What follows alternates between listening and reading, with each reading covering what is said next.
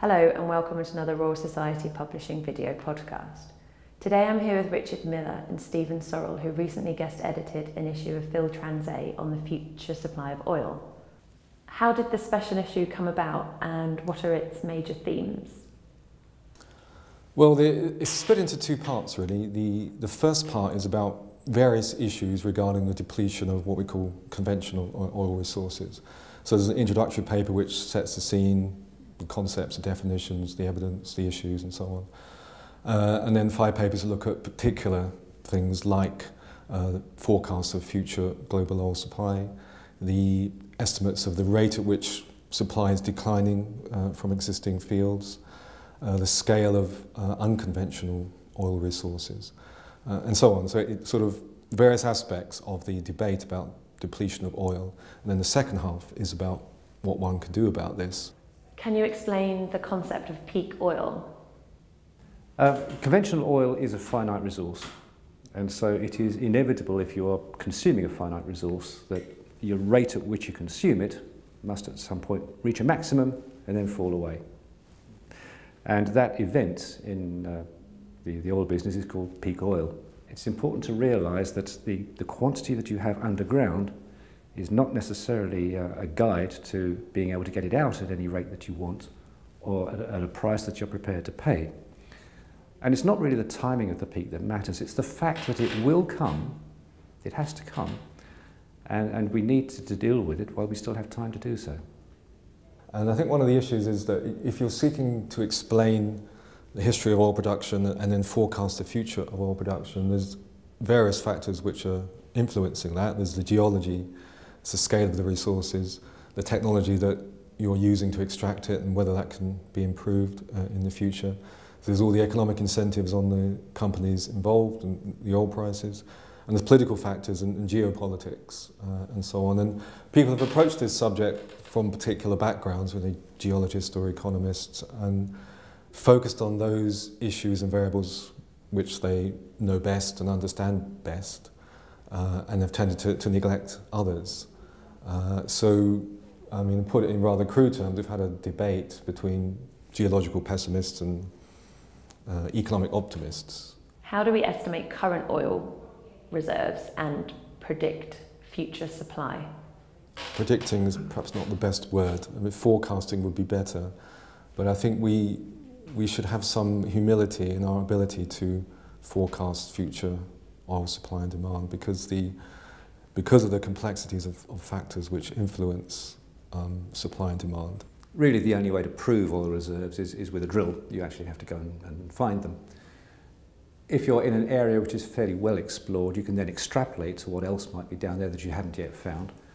And in parts of the world which are not explored, you really have to go by geological analogy with places that you know rather better. But it isn't about the amount that's in the ground at the moment, it's the rate at which you can get it out that matters. Um, the, the phrase is, it's not the size of the tank that matters, it's the size of the tap. And this is all about oil field behavior. Uh, when you produce an oil field, when you first bring it on stream, you tend to get a rapid build-up to a, a peak level, to a, which you can, can hold at a plateau for several years. And then it starts to fall, and it falls because the, the pressure in the field is dropping all the time that you're producing oil. Later in its life, you'll also start producing water and gas. And of course, every barrel of water you produce is a barrel of oil that you're not producing. So inevitably, field output starts to decline. And this happens quite quickly and long before a field has produced even half of its oil. So most of the life of an active oil field is spent in a state of decline. And that's when it is producing most of its reserves. And that's the state of most of the world's oil fields today. They have a lot of reserves in the ground, but the rate at which it comes out is falling every year.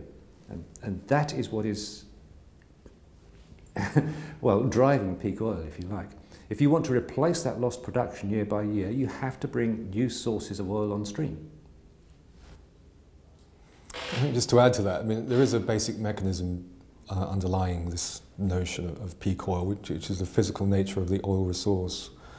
Conventional oil, I'm talking about, it is located in discrete fields in a limited number of locations around the world. Uh, and it tends to be concentrated in a small number of very large fields, giant fields are often called as supergiant fields. Uh, and by their nature, they tend to be found and exploited first. And if you were just drilling randomly, you'd tend to hit the, the big fields first. Um, so what that means is that um, over time we need to, production needs to shift to smaller, smaller fields, often in more difficult locations, uh, to compensate for the decline in production from those large fields that were, were developed first. And that becomes progressively more, more difficult. You're sort of running faster to, to stand still. Uh, hence, ultimately, uh, production from a region will, will, will begin to decline. Are there any specific examples, politically, geographically, economically, of issues that influence um, supply? We, we have what we call the below ground factors and the above ground factors. And, and essentially the below ground factors are where is the oil, how, how is it held within the rocks, how technologically difficult is it to, to move it and to, to get it out.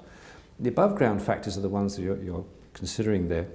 And they're the ones that say, can we actually go somewhere and explore and produce oil?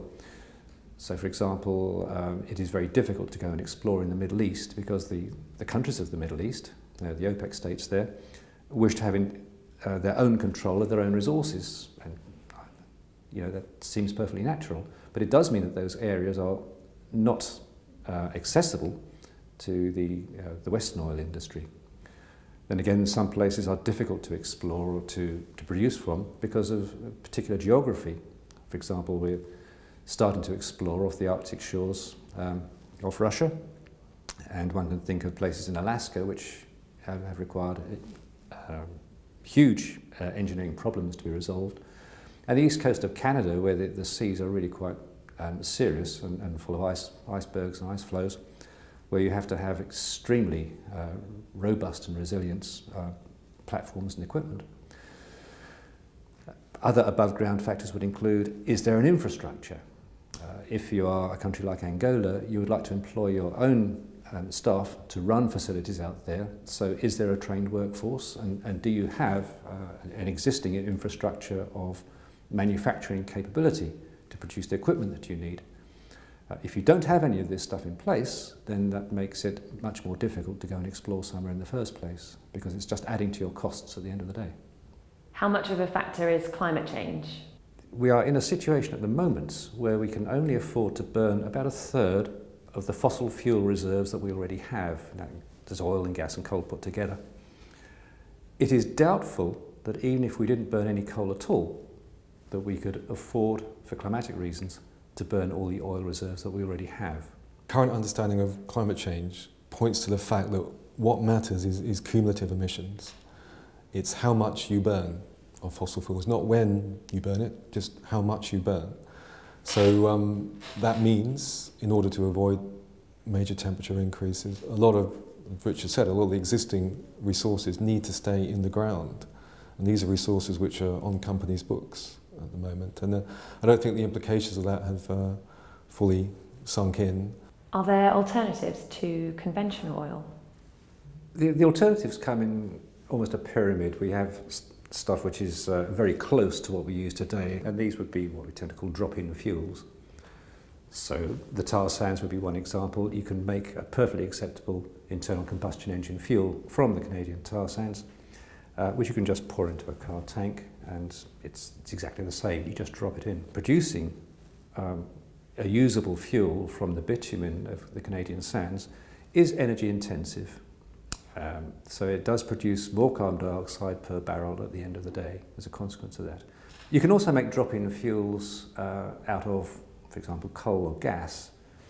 But these require a number of, of chemical conversion steps, and every chemical conversion is the consumption of a little bit more energy. So again, these tend to have quite a high um, final carbon dioxide per barrel emission factor. Stepping a little bit further away, you have biofuels, which um, are, dropping in some senses, although you, um, certainly the alcohols do require some change to the engine. But there's a lot of controversy about um, biofuels because they are currently essentially competing for the same food crops that, that people want to eat.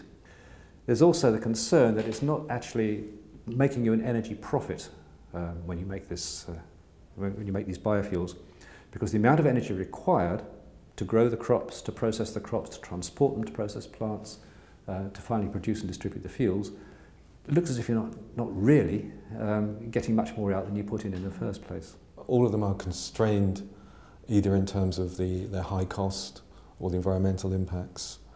Um, and I think that by far the most promising way of addressing this problem is on the demand side, uh, improving the efficiency with which we use oil, uh, particularly in transport. Trans um, oil use is overwhelmingly uh, concentrated in, in transport, and there is huge scope for improving the efficiency of individual vehicles and also shifting modes uh, and reducing the extent to which we move around.